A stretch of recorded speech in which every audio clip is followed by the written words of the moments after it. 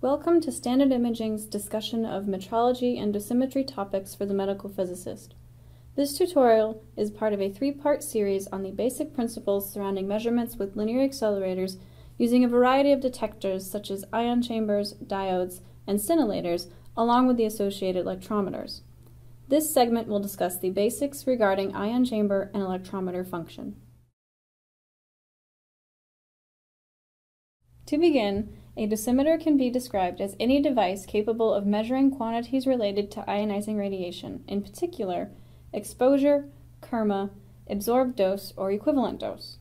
A dosimeter, along with its reader, such as an electrometer, is referred to as a dosimetry system. A useful dosimeter with respect to medical physics applications exhibits the following properties. High accuracy and precision, and note that these two terms are not the same, linearity of signal with dose over a wide range, a relatively flat energy response, small directional dependence, high spatial resolution, and a large dynamic range. I would also like to note here that viewers are encouraged to review the slide sets that are available from the IAEA, which discuss each of these properties in detail. This tutorial is focused on ion chamber and electrometer characteristics, and reference materials for these IAEA presentations can be found at the end of this video. Consider the image of a basic Farmer-type ionization chamber. There are three main parts to an ion chamber, a gas-filled cavity, an outer wall, and the central collecting electrode. The other absolutely essential component of a good ion chamber is a guard.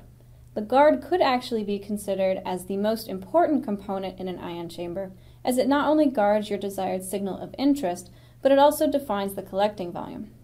As you probably remember, a voltage is applied to our chambers, and most chambers today apply a bias to the central electrode, leaving the outer wall at ground as to avoid shock hazards.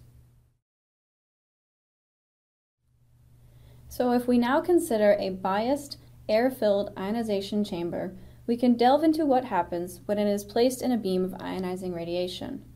For indirectly ionizing radiation, such as a photon beam, the initial event that triggers the chamber signal is the release of high energy electrons or positrons in the chamber wall through something like the photoelectric effect, Compton effect, or pair production. Some of the electrons released in the chamber wall enter the collecting volume and ionize the air through Coulombic interactions with air molecules, producing low energy electrons and positive ions. Since oxygen is an electronegative gas, the low energy electrons produced by high energy electrons interacting with the air molecules attach themselves to oxygen molecules and form negative ions. In standard air-filled ionization chambers, positive ions and negative ions are collected, rather than positive ions and free electrons. And as I mentioned, the guard is essential in order to accurately define your collecting volume, which ultimately ensures that the signal collected is only due to ionization events within the collecting volume. Similar to the function of thimble chambers, charge collection of ionizations in air-filled parallel plate chambers is shown here. Again, the guard is essential in defining the collecting volume of the chamber, and a well-guarded parallel plate chamber typically uses the rule of thumb that the guard thickness should be at least two times that of the size of the gap between the collector and the guard. Now that we have seen how charged particles are generated in an air-filled ionization chamber and how that signal is captured by the collecting electrode of the chamber, it is then passed to an electrometer for readout, generally by a triaxial cable. Let us now consider this readout device. Electrometers are really general purpose instruments that have been tailored for medical physics purposes like those found in the radiation oncology environment. Electrometers act to measure the current or charge produced by an ionization chamber or other detector. However, we are focusing on ion chambers. Considering that ionization chamber volumes extend from 0.005 cc's to over 800 cc's, electrometers must be able to handle currents ranging between 0.1 picoamps up to 1 microamp, depending on the source. The measurement of charge depends on the accumulation time, typically 15 to 60 seconds. And in general, an electrometer is a high gain, negative feedback operational amplifier with a standard resistor or standard capacitor in the feedback pathway, which measures the chamber current and charge respectively over a given time interval. One or both of these preamplifier circuits, either with a resistor or a capacitor, are contained in all electrometers.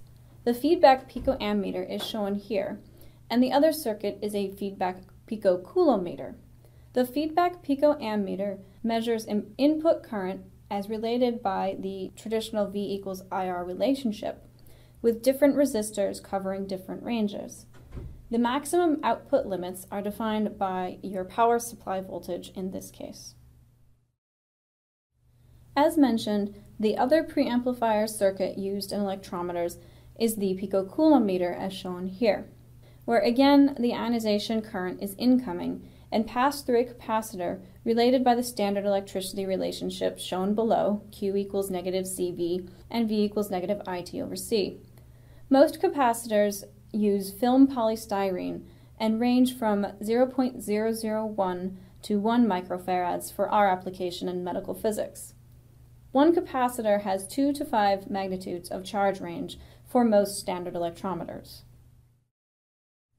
Once the electrometer front end detects a signal, there are numerous ways to display that information.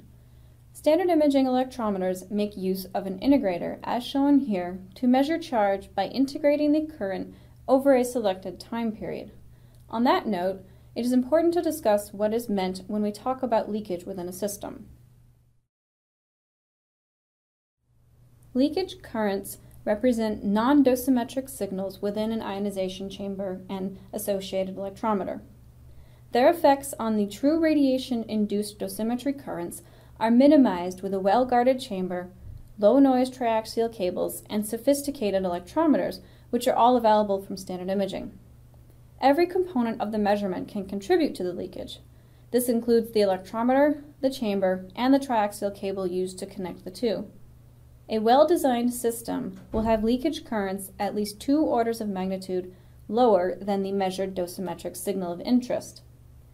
Leakage currents fall into three categories intrinsic leakage currents or dark currents resulting from surface and volume leakage currents flowing between the polarizing and measuring electrodes of the chamber, radiation induced leakage currents, which occur as a result of irradiation of other parts of the dosimetry system, such as your cables and electronics, and finally, leakage can also be caused by mechanical stress induced and friction induced spurious cable currents resulting from bending and twisting of your cables. Standard imaging electrometers measure electrical current, not charge. The charge is a multiplicative factor determined through the amount of time in seconds that the electrical current is measured. The IEC's passing criteria for leakage is a current measurement which is between plus or minus 50 femtoamps across 100 seconds. When determining leakage, all components must be tested. With the dust cap secured to the triax connectors of the electrometer, the 100 second leakage in picoamps should be determined with 300 volts bias applied.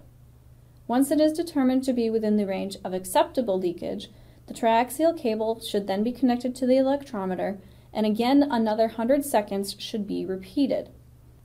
Once the cable leakage is determined, the chamber itself can be connected in the system, and the leakage can again be assessed. A common issue that contributes to leakage is the cleanliness of the triaxial connectors. Even the smallest microns of dust can cause large amounts of leakage to be present. If it is determined that there is leakage due to any of these components in the system, using compressed air to clean out the triaxial connectors can be a solution. So now putting this all together, if we consider the chamber, cable, and electrometer as a system, the standard high voltage of 300 volts is applied between the guard and the thimble. To define a voltage, the magnitude and the polarity at one point with respect to another point must be indicated. In the diagram, the guard and the collecting electrode is at plus 300 volts with respect to the outer shell, casing, and earth, and the thimble. Thimble bias is the thimble potential with respect to the guard and is at negative 300 volts in this image. Considering this, the above configuration will produce a negative ionization current although this does vary between manufacturers. With standard imaging electrometers, when a negative bias is applied, there is a negative charge on the collector, and therefore you are collecting positive electrons. At this point, you should all be familiar with the basics surrounding principal functions of ionization chambers and electrometers. Roll over the images here to learn more about some of the dosimetry products available from Standard Imaging, or visit the website. And please join us in our second tutorial on basic dosimetry measurements in the radiation oncology environment.